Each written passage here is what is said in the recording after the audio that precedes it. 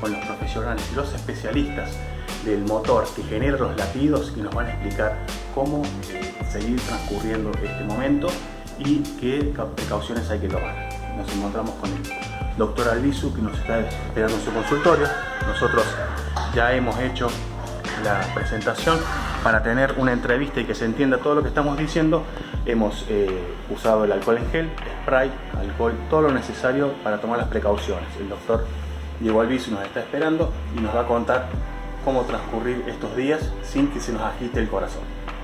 ¿Qué tal? Mi nombre es Diego Albizu, soy médico cardiólogo clínico, eh, trabajo en el Instituto Cardiovascular San Luis eh, desde hace 20 años aproximadamente, soy el coordinador de unidad coronaria y este, que está dentro del Sanatorio Rivadavia.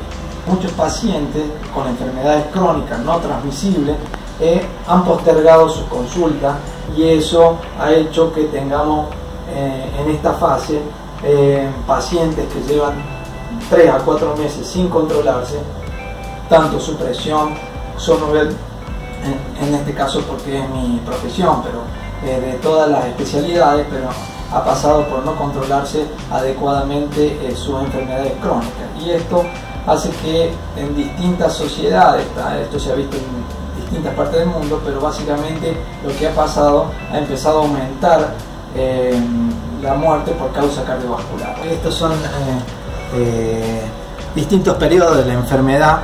Van a ver que hay una ola, son eh, acá la primera ola es de la enfermedad del coronavirus. Bueno, y vienen las enfermedades, el impacto de las enfermedades crónicas, como le decía, sin control que van a estar ahora, porque ha pasado este lapso de tiempo y no se han controlado. Pero después viene esto que es, que es una cuarta ola, que son los traumas psíquicos, enfermedad mental, daño económico y el burnout. Hay, mucha hay muchos pacientes que están consultando y crean mm, eh, eh, la ansiedad por estar encerrados y eh, no poder realizar su vida habitual. La gente está muy ansiosa, también uno de los consejos que le da básicamente es que no adquirir tanta información. Hoy en día hay mucha información, por, ah, todo pasó a ser eh, coronavirus, todo pasó a ser eh, la única noticia importante y eso lamentablemente, si bien no, no es, eh, es, importante, pero no es lo único. Entonces hay que tratar de ocuparse en el momento oportuno. Obviamente que hay un comité de crisis, ese comité de crisis la provincia ah, nos ha dado pautas de, trabajo y las pautas de trabajo ah, también han sido mm, bajadas del círculo médico que nos regula. Eh, en este contexto nosotros hemos podido volver a funcionar dentro de lo que son los consultorios eh, privados y en esos consultorios o policonsultorios tenemos que cumplir ciertas normas.